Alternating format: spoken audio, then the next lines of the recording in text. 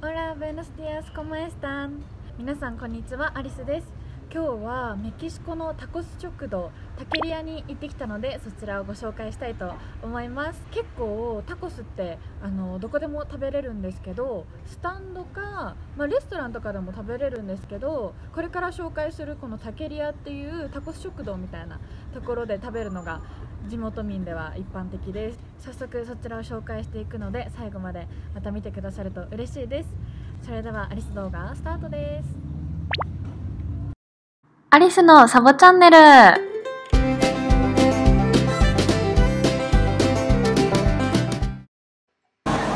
ちらがタケリアです。こんな感じで地元民とか家族の人たちで賑わっています。入ってすぐのところにキッチンがあってここでタコスを作ってくれます。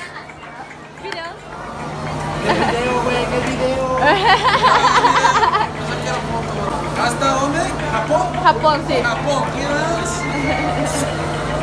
Hasta Japón. Chiquillas hermosas. de globo.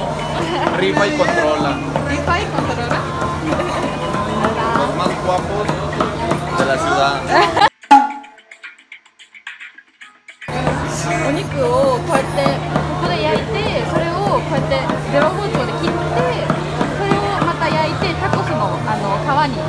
せてタコスが完成します。でこっちがあの皮ですね。皮をこうやって焼いてます。でここにあのサルサを作る野菜を焼いてます。それを後であのみじん切りにして緑と赤いサルサを作る。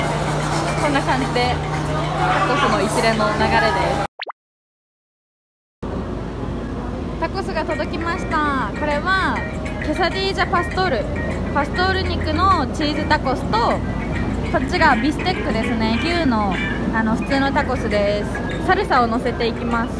これはなんかパイナップルと玉ねぎとレモンとパクチーが入ってると思います。あとかけてでこちらのサルサをかけていきます。でレモンを絞っていきます。早速食べていきたいと思います。まずはこのケサディーザから。大きいです結構大きくないですかこんな感じで。手のひらぐらいありますいただきます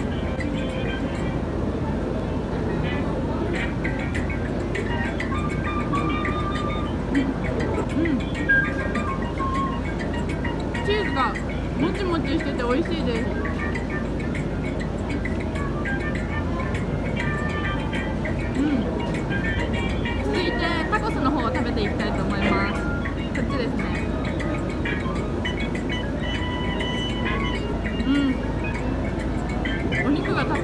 っぷりで美味しいですなんかすごいシンプルなんですけど癖になる味ですね。でこの今飲んでるこれなんですけどメキシコって瓶のやつがまだ全然多くてでこのグアバ味のこのジュースがすごい美味しいのでおすすめです。ということでキシコのタコス食堂タケリアをご紹介しました。いかがだったでしょうか？メキシコにはこのタケリアと呼ばれるところが多数あって地元民には欠かせない場になっています。この動画が少しでもいいなと思ってくださった方はそしてチャンネル登録まだの人チャンネル登録をよろしくお願いします。ではまた次の動画でお会いしましょう。アリスでした。Muchas gracias. Nos vemos.